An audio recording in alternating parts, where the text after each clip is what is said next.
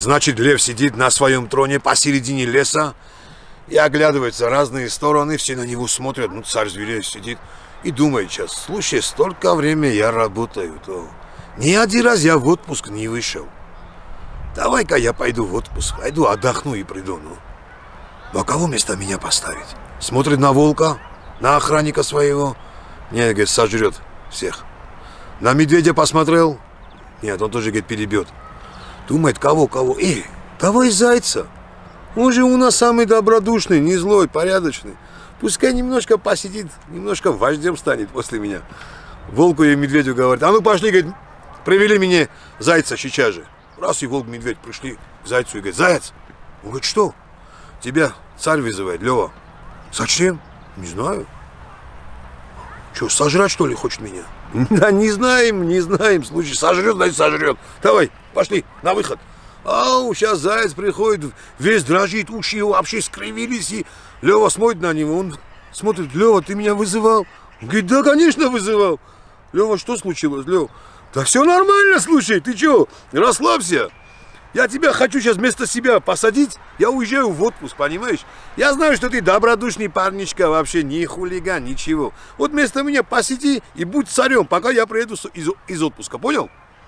Говорит, Лёва, я не верю, ты правду говоришь? Конечно! Давай садись.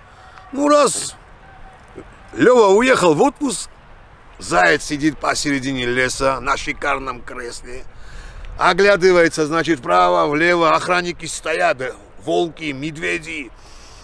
Он смотрит и говорит, приведите ко мне сейчас рыжую лису, сейчас же привести ко мне. О, волк посмотрел, говорит, ты посмотри, говорит, как уже начал командовать.